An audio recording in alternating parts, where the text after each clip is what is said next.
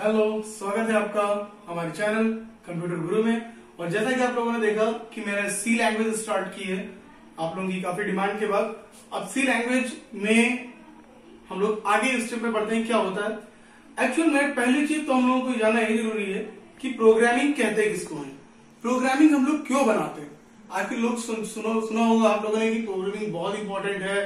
Programming आगे चल के भी काम आएगी आप बीटेक करने जाओगे या एमटेक करने जाओगे या बीसीए के लिए जाओगे, वहाँ भी आपको प्रोग्रामिंग पढ़नी पड़ेगी, आपको कोडिंग पढ़नी पड़ेगी। आप बड़े बड़े इंटरव्यूज़ फिनिश करोगे, वहाँ भी आपको मेन बताया जाएगा कि कोडिंग कैसे की जाती है। अब ये कोडिंग क्यों की जाती है? ये शायद आपको नहीं पता होगा या किसी ने बताया नहीं होगा कि हम लोग आगे प्रोग्रामिंग सीखी क्यों रहे प्रोग्रामिंग सीखने का मेन मोटिव जो होता है, वो होता है software development software development software बना सॉफ्टवेयर बनाना है।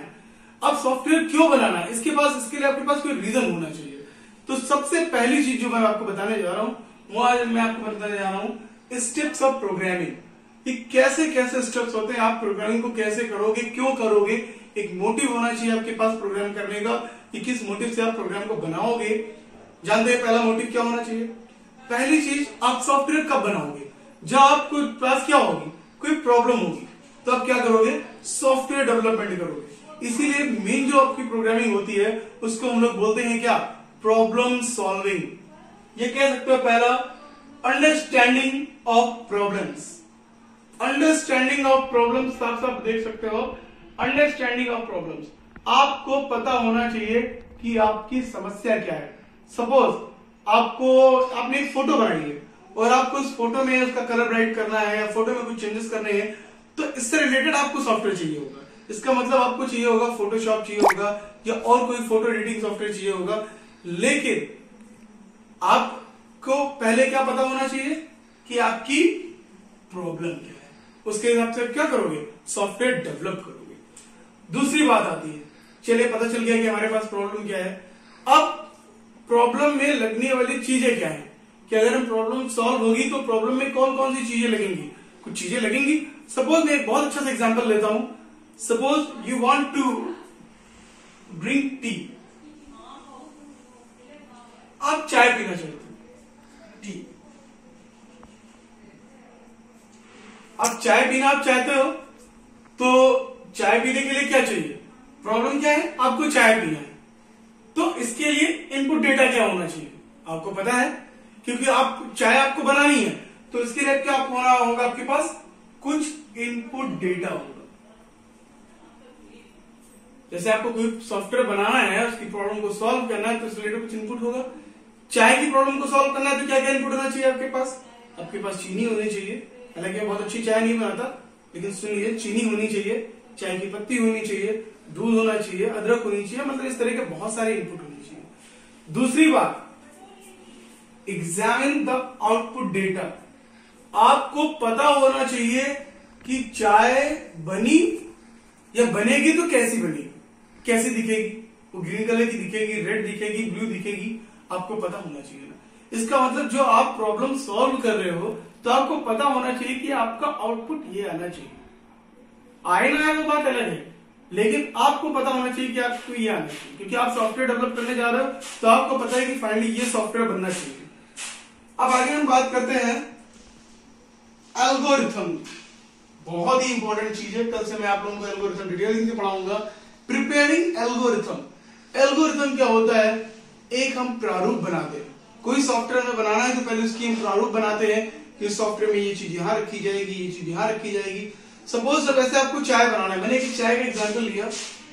अगर आप चाय बनाना चाहते हो तो इनपुट में कैसे होगा आपका? इनपुट में क्या क्या चीज़ें आएँगी? कि आपके पास चाय का मटेरियल होना चाहिए। आपके पास क्या क्या है? आउटपुट में चाय कैसी होनी चाहिए? प्रिपेयरिंग एल्गोरिथम क्या है? प्रिपेयरिंग एल्गोरिथम का मतलब होता है कि साफ़ साफ़ आपको पता होना चाहिए कि आप गैस होनी गैस ऑन होगी। पहले फिर इस पे हम बाउल रखेंगे, फिर इस पे हम दूध डालेंगे। मतलब एक स्टेप वाइज स्टेप जो होता है, उसको हम लोग क्या बोलते हैं? एल्गोरिथम बोलते हैं। फ्लो चार्ट क्या है? उसी का पिक्चोरियल रिप्रेजेंटेशन जो होता है, जो उसका डायग्रामेटिक रिप्रेजेंटेशन होता है, किसी एल्गोरिथम का, वो क्या कहलाता है? फ्लो चार्ट कहलाता है। जब हमें ये चीज़ पता चल जाए कि हमारे पास आ, आ, उसकी एल्गोरिथम पूरी मौजूद है। कंटेंट हमको कैसे वाइज कैसे लाइन से लगाना है हमें चाय बनाना है तो हमें पहले बाउल में बाउल को गैस पे रखना होगा फिर आगे काम करना होगा। तो हमें पूरी स्टेप बाय स्टेप पता है। तो वैसे ही हम लोग किसी प्रॉब्लम को सॉल्व करने के लिए पहले स्टेप बाय स्टेप सीखते हैं। फिर दूसरी चीज़ राइटिंग एक्चुअल प्रोग्राम फिर हम लोग क्या करते हैं एक्चुअल प्रोग्राम बनाना शुरू करते हैं कि भैया प्रोग्राम ये है आपका। ये आपने प्रोग्राम बनाना शुरू कर दिया है, क्योंकि आपको अभी तो आपको चाय के वो सारे जो कंटेंट थे उठा के आपने पता चल गया कि पहले गैस ऑन करनी क्या, फिर आप क्या करोगे? चाय बनाना स्टार्ट करोगे। तो चाय बनाने का मतलब सॉफ्टवेयर बनाना स्टार्ट करोगे। इसका मतलब रैपिंग एक्चुअल प्रोग्राम आप एक्चुअल प्रोग्राम लिखना शुरू करोगे। जैसे कि मैं आप लोगों को सी लैंग्वेज पढ़ा रहा हूँ तो मैंने आपको डायरेक्ट सीधे प्रोग्रामिंग नहीं पढ़ाई। मैं आपको क्या बता रहा हूँ? मैंने पहले हिस्ट्री बताई। फिर आप बता रहा हूँ प्रोग्रामिंग बनानी क्यों चाहिए। इस तरह की चीज़ें बता रहा हूँ। तो पहले ये सब कंटेंट बताना बहुत ज़रूरी ताकि आपको प्रोग्रामिंग में दिक्कत ना आए। लास्ट स्टडी को चलते हैं। टेस्टिंग द प्रोग्राम उस प्रोग्राम को हम लोग टेस्ट करेंगे कि वो प्रोग्राम सही है या नहीं।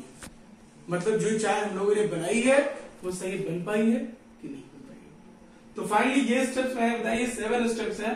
प्रोग्रामिंग की प्रोग्रामिंग हम क्यों करते हैं, कैसे करते हैं? ये सात स्टेप को आपको बहुत ध्यान में रखना है और जब भी आप प्रोग्राम करेंगे, ये सातों स्टेप आपके बहुत काम आएँगे। क्योंकि सबसे पहले आपको आपकी प्रॉब्लम पता होनी चाहिए, फिर उसके बाद इनपुट पता होना चाहिए, फिर आउटपुट पता होना चाहिए, फिर उसकी एल्गोरिथम फ्लो चार्ट फिर actual written code and then finally testing of the program आज के लिए इतना ही, लेकिन मैं आपको कल जो बताऊँगा, वो मैं बताऊँगा एल्गोरिथम क्या होती है एल्गोरिथम की डिटेल बताऊँगा कैसे करते हैं एल्गोरिथम बनाते कैसे हैं।